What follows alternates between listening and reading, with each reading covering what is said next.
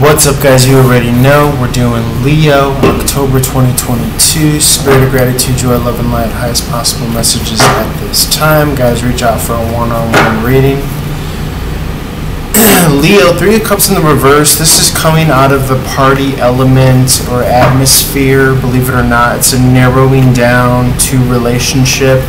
You could have been turning cold to it with the Queen of Cups in reverse. Six of Cups in reverse is having lost friendships from the past due to lack of happiness. Could even be a relationship based on friendship and play.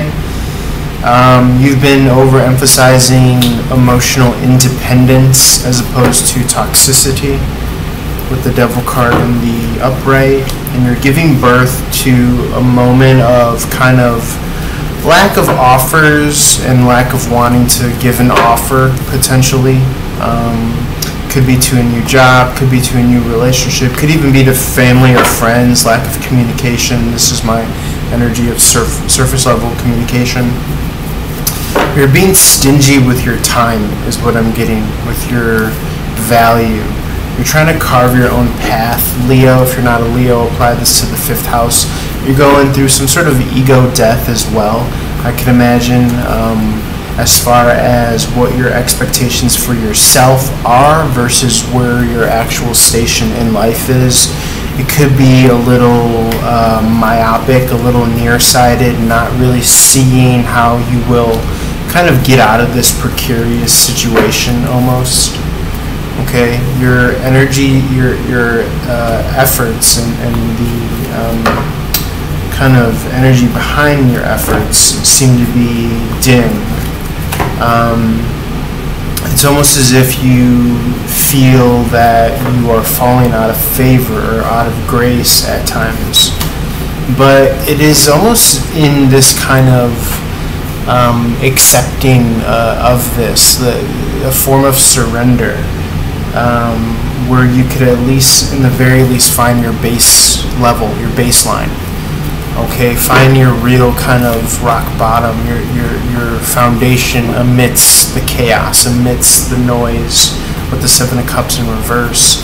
And you can find out who is truly by your side. And when you find out who's truly by your side um, then you can find out a lot about yourself. And that that's even in regards to um, what you rely on uh, fundamentally, foundationally, I almost want to say structurally, uh, in your life. Like, say it's poetry, say it's writing, say it's music.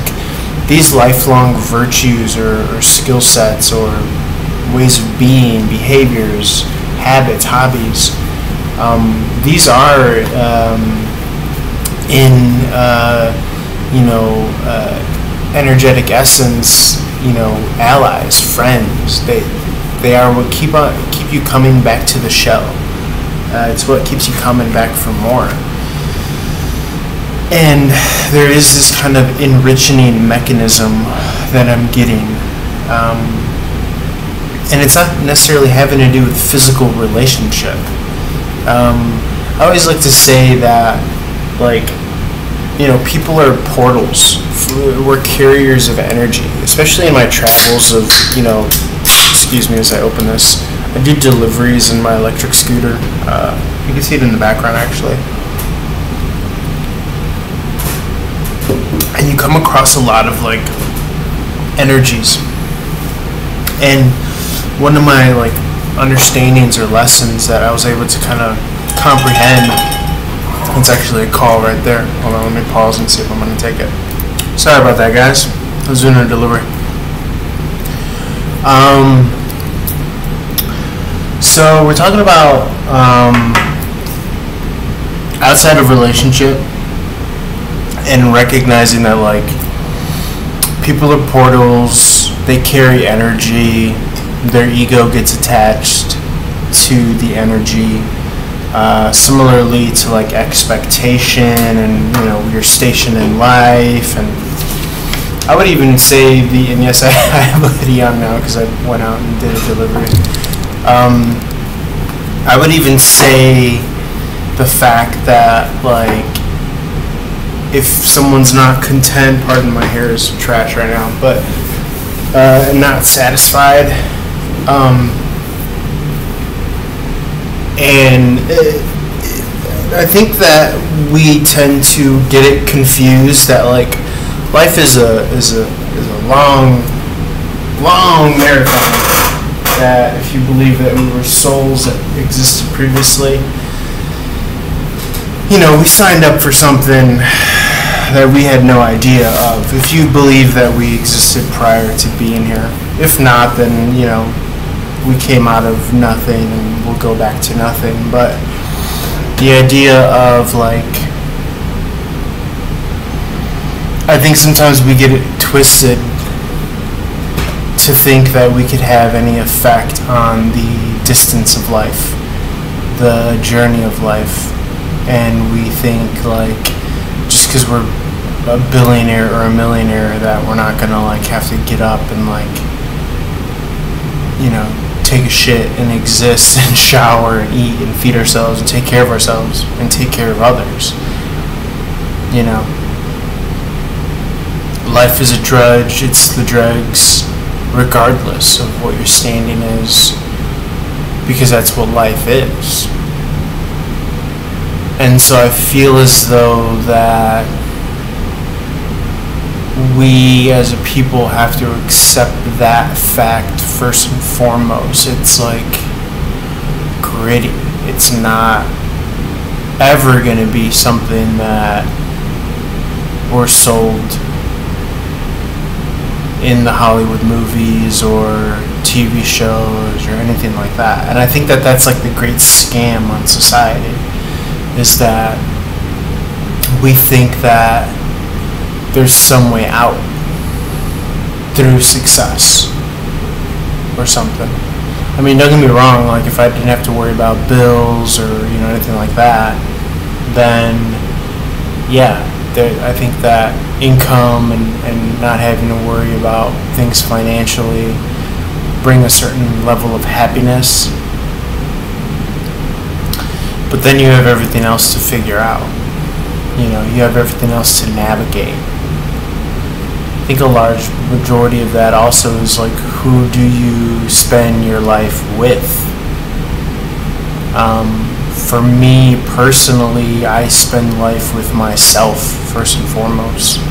This has been like probably the most isolating year of my life since um, my girlfriend left me. I know that sounds really harsh and brutal, but I mean that's just kind of what it what it is and what it was. I mean, um, I am going through somewhat of like a man on an island existence, but in my defense, I chose this, you know, because I just wasn't vibing with um, anyone else at the time back home in Chicago you know, before I moved to LA in 2015. And this existence has been slowly removing people from my life. And you start to question, I think, like your sanity, you start to question the steps and the moves that you made. You start to question like dating apps and then even like the whole song and dance of like going out on a date and like what's the worth or what's the meaning. I think that there's value in putting yourself out in out of your comfort zone. Um, but I also feel as though that there's a lot of value in, in like right now I just came back from doing a delivery and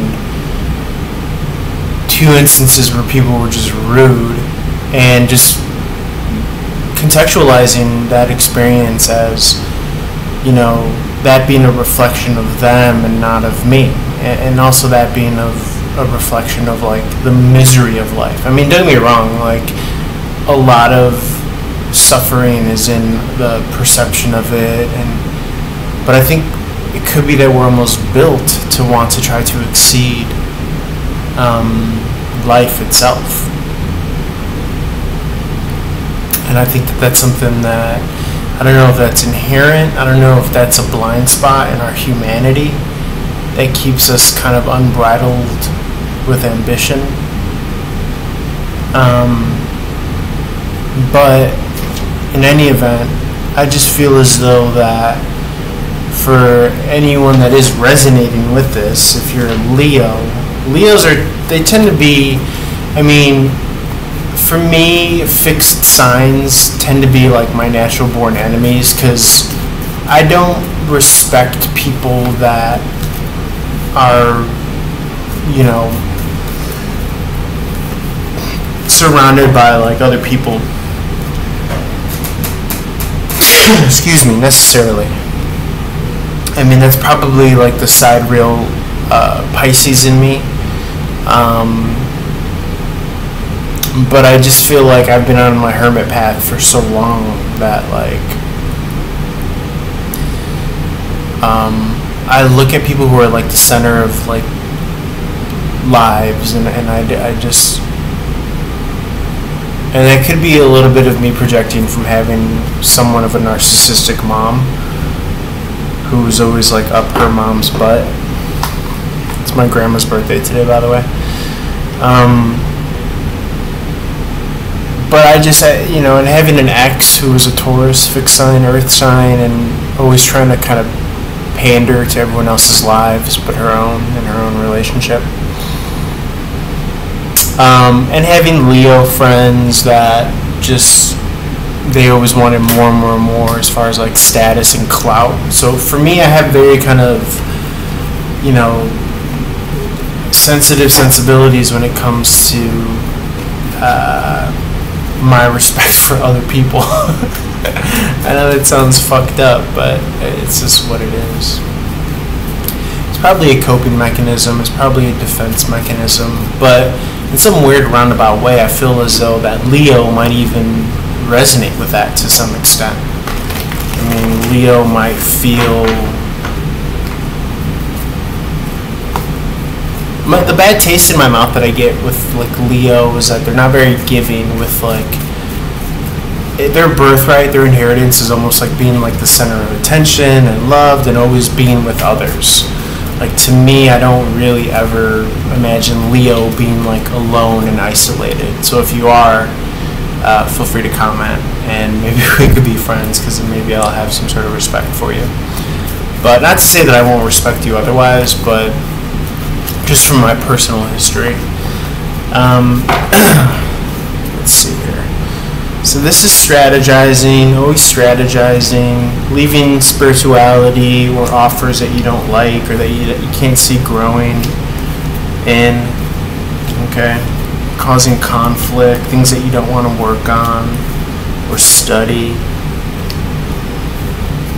Okay, you might be moving towards a Queen of Wands here something more manageable, something more light, loose, obligation and responsibility wise, not having to deal with so much discipline here. The card of Leo, the strength card in reverse. I'm just getting this more kind of like freed up energy for you. Um, maybe bringing yourself to the status of, you know, boss of your life, so to speak um, which is cool. Um, yeah, anything else for Leo, Spirit? Anything else for Leo? Divorce, falling out of union, and getting back to party mode. So it's very interesting because it's almost as if, like, you started the reading before we were so rudely interrupted with um, this very sobering, almost it could be interpreted as coming out of a third party situation.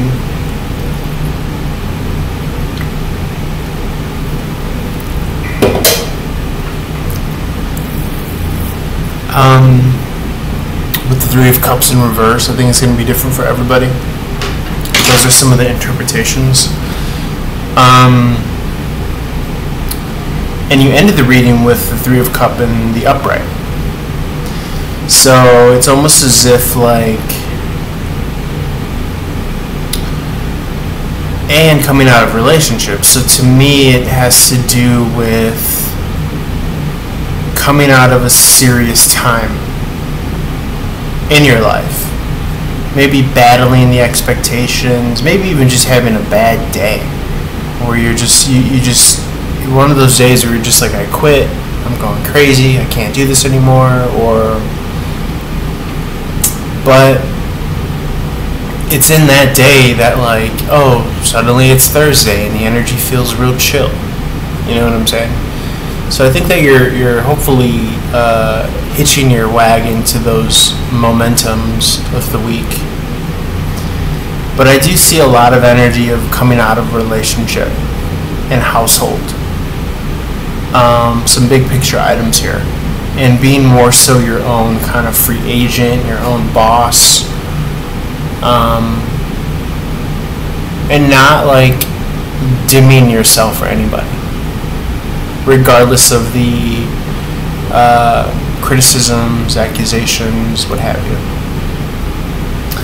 So, which is good on you, because I think that you know we all have this kind of birthright of this internal compass that we're trying to follow that others might not understand. So, it's also something we probably resonate on together, Leo, as being fire signs, Aries over here. Um, okay, but I'm gonna leave it there, and I'm gonna move on to Virgo. Holler boy.